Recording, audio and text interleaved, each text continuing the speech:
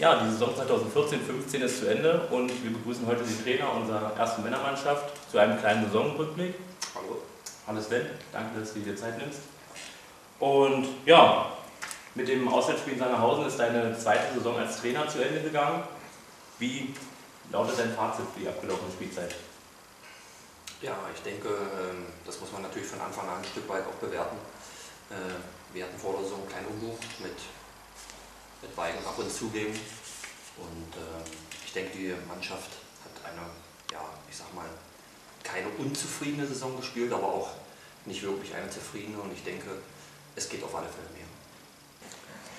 Ja, Sven, wie auch äh, zu Beginn deiner ersten Saison als Trainer hier in Stendal hattest du ja zum Anfang der Spielzeit wieder mit einer relativ starken Fluktuation im Kader zu kämpfen. Wobei etablierte Spieler wie Juninho, André Ronneburg oder auch Naldo den Verein verlassen haben. Rückblickend betrachtet haben aber auch viele neue Leistungsträger im Prinzip den Weg nach Stendal gefunden. Um jetzt nur einige zu nennen mit Moritz Instenberg, Andreas Sommermeier oder aber auch Arten Sikulski. Ja, wie schwer war es im Endeffekt, die Mannschaft bzw. das Team zu dem zu machen, was es jetzt am Ende der Saison auch entsprechend gewesen ist? Also ich denke, äh, das ist eine interessante Frage. Ähm, ich glaube, das, ich, ich glaube und ich denke, das war nicht so schwer, weil äh, wir haben am Anfang auch darauf ganz, ganz speziell darauf geachtet, was wir für Jungs holen, ja, wie die charakterlich sind. Äh, und da haben wir tolle Jungs geholt, muss ich einfach sagen, die, die wirklich von Hause aus einfach charakterlich sehr, sehr, sehr, sehr gut ins Team passen sich auch sehr schnell integriert haben. Die Neuen ähm, oder beziehungsweise die Alten haben die Neuen sehr gut aufgenommen. Dadurch ist natürlich auch ähm, schnell eine Einheit geworden. Ja. Wenn man sich vor allem dann auch so wie wir, ich sag mal, teilweise vier, fünf Mal die Woche sieht zum Training, zum Spiel, dann glaube ich, äh, dass sich mehr oder weniger da sehr schnell eine Einheit gebildet hat in den ersten zwei, drei Monaten. Ja, natürlich hat man auch Teambildungsmaßnahmen gemacht, wie Bowlingabend oder wie auch Mannschaftsabende, dann wo die Jungs sich äh, mehr oder weniger äh, näher kennengelernt haben. Und, ähm, und vor allem ist es auch so, dass man, dass man dann gemerkt hat, dass es ein, ein schnelles Wir-Gefühl entstanden ist. Und daher denke ich, dass jeder Spieler seinen Anteil daran hat, dass auch die Mannschaft, so wie es ist, äh, oder so wie sie ist, äh, auch zu einer absoluten Einheit geworden ist. Mhm.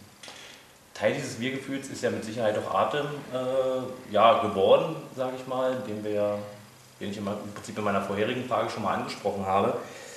Ja, Atems Geschichte ist ja im Prinzip insofern eine besondere, wenn man betrachtet, unter welchen Voraussetzungen er hier nach Stendal gekommen ist.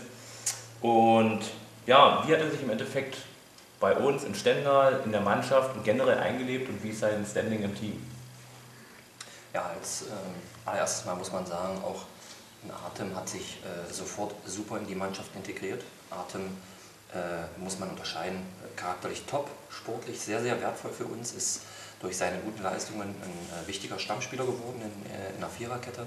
Und äh, wie er ist in Deutschland angekommen, also er macht einen Deutschkurs, er kann jetzt nach, ich sag mal, nach einem Dreivierteljahr dass er jetzt hier auch in, in Deutschland lebt, schon sehr, sehr gut Deutsch. Ja. Ich würde nicht sagen fließend, aber schon auch ein Stück weit so, dass man sich super verständigen kann auf Deutsch. Und deswegen denke ich, ist das für uns ein sehr, sehr wertvoller Spieler.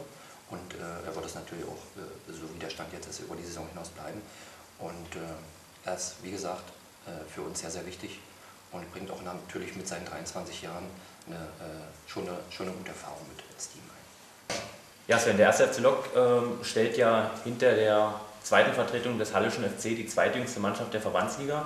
Und viele Talente, die auch in der Jugend beim äh, LOK gekickt haben, haben mittlerweile den Sprung in die Verbandsliga geschafft. Wer hat ja aus deiner Sicht in dieser Saison, ja, ich sag mal, eine besonders gute Entwicklung genommen? Ja, ich denke, ähm, es wäre unfair, jetzt über einzelne Spieler zu sprechen, ja, äh, wie auch in der Öffentlichkeit. Das machen wir alles intern. Ja, ähm, ich denke, es ist das große Ganze, was sich entwickelt hat. Und ich denke, äh, dass wir, dass wir einfach auch noch nicht da sind, wo wir hinwollen. Aber dafür werden wir auch in, äh, in der Zukunft viel arbeiten und ähm, dann werden wir schauen, was hinten bei rauskommt. Mhm. Gibt es deiner Meinung nach Spieler, die auch noch, äh, oder Mannschaftsteile generell, um es ein bisschen allgemeiner zu formulieren, die, sag ich mal, noch gewisse Reserven haben, ja, wo sicherlich auch noch etwas mehr rauszuholen ist? Also erstmal ist es so, dass alle Spieler ein Stück weit Reserven haben. Ja. Daran werden wir arbeiten. Aber äh, wir werden auch an unseren Stärken arbeiten, weil ich denke, dass wir da auch noch ein großes Potenzial nach oben haben. Ja, in jeder funktionierenden Mannschaft gibt es in der Regel einen oder mehrere Leitwölfe, die die Mannschaft nach vorne treiben und gerade in ja, komplizierten Situationen irgendwo Verantwortung übernehmen. Wer ist das bei uns in der Mannschaft? Ja, in erster Linie äh, sind das, äh, ist das der Kapitän äh, Philipp Groß, der Vizekapitän Martin Gebauer, äh, die Regionalliga-erfahrenen Moritz Instenberg und Andreas Sommermeier. Und ähm, ich denke, Vincent Kühn und Benedikt Nelson stehen dem auch in den, äh, nichts nach. Im letzten Jahr konntet ihr die Saison mit einem, ja, ich sag mal, super vierten Platz entsprechend abschließen. Und in dieser Saison ja, seid ihr relativ schlecht äh, in die Saison reingestartet. Grund sicherlich auch, wie gesagt, die, die neu zusammengewürfelte Mannschaft in großen Teilen. Seid allerdings in die Rückrunde entsprechend ja, ziemlich gut reingekommen. Habt dann hinten raus aber ein bisschen, ja, ich sag mal, Luft verloren. Wo siehst du die Gründe darin? Ja, ich denke, dass man, wenn man vier Spieltage vor Schluss noch um Platz 3 mitspielt, ja, gegen Arnstedt hier zu Hause, wo wir 75 Minuten klasse Spiel machen und dann aber innerhalb von, drei Minuten, äh, von acht Minuten äh, drei Gegentore kassiert, dann äh, denke ich, äh, ist das so ein Stück weit der Knackpunkt gewesen. Ne? In den letzten Spielen hat man dann zwar probiert, auch die äh, Spannung hochzuhalten, aber äh, man weiß ja, wie das ist, wenn man dann nachher um Platz 6 oder um Platz 5 spielt. Klar wollten wir Fünfter werden, wir wollten unter die Top 5, aber ähm, es ähm, hat natürlich nachher nicht geklappt und wir haben sehr, sehr viele junge Spieler spielen lassen, unter anderem auch drei A-Junioren. Äh, deswegen, äh, ja, wie ich eingangs schon sagte, kann man sicherlich äh, nicht unzufrieden sein, aber auch nicht zufrieden, weil einfach mehr geht. Ja, in der zurückliegenden Spielzeit ähm, war im Prinzip auch wieder zu erkennen, dass ihr bzw. deine Mannschaft sich leistungstechnisch sukzessive immer weiter verbessert hat. Und ja, was haben die Jungs aus deiner Sicht schon sehr gut gemacht und wo gibt es noch deutliche Reserven? Was, was müsst ihr im Prinzip für die Zukunft noch verbessern? Ja, ich denke, wir haben uns über den Saisonverlauf äh, eine Strategie erarbeitet, die die Jungs dann nachher gut umgesetzt haben. Ja. Was äh, die Baustellen sind, die du angesprochen hattest, denke ich, das sind äh, auf alle Fälle die einfachen Fehler in der Spieleröffnung, ja. teilweise auch technische Fehler äh, und sicherlich auch, äh, was die Organisation betrifft, dass man die Ordnung über 90 Minuten nicht hält, sondern dann auch sehr, sehr einfache Gegentore bekommt. Und äh, da wird es wichtig sein, äh, dass wir vor in der nächsten Saison weniger Gegentore bekommen. Ja, weil wenn man sieht, wer oben steht, die haben alle wenig Gegentore. Und daran werden wir auch arbeiten. Ja, wir haben ja ähm, in der zurückliegenden Saison eine Vielzahl von guten Spielen gesehen. Hier und da auch das einige weniger gute. Erinnerst du dich an ein Spiel, was ja, besonders hervorhebenswert im positiven Sinne war und eins, was, wo du sagen würdest, naja, da hätten wir am besten gleich zu Hause bleiben sollen? Ja, also ich denke, äh, auf alle Fälle Tiefpunkte in der Saison waren das Hinspiel in Oschersleben, wo wir die Chance haben, natürlich in Führung zu gehen. Äh, wir haben bis dahin äh, sicherlich die besseren Chancen gehabt, aber das verlieren wir dann nachher klar 3 zu 0. Ja. Was auch nicht gut war, war das Rückspiel in Piesteritz, wo wir ähm, als äh, 0 zu 4 verlieren äh, und dort als Verlierer vom Platz gehen. Da hatten wir uns eigentlich viel, viel äh, was anderes vorgestellt. Ich denke, wir haben auch richtig klasse Spiele gemacht. Äh, und zwar äh, das 6 äh, zu 1 in Wolfen, wo wir ein klasse Umschaltspiel gezeigt haben, wo, was auch mit das beste Saisonspiel war. Auswärts das Spiel bei Preußen Magdeburg, was wir 4 zu 2 gewonnen haben, da haben wir auch ein klasse Umschaltspiel gezeigt. Und vor allem ähm, denke ich das Spiel gegen Edelweiß Arnstedt hier, äh, vier Spieltage vor Schluss, wo wir 75 Minuten einen klasse Fußball zeigen. Äh, so ich mir das in der nächsten Saison vor.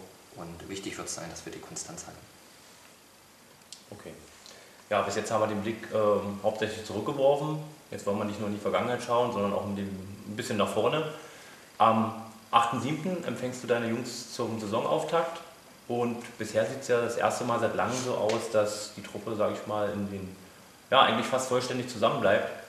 Gibt es Spieler, wo noch äh, entsprechend eine Entscheidung aussteht, beziehungsweise die schon, ja, ich sag mal, sich mehr, mehr oder weniger dafür entschieden haben, den Verein zu verlassen?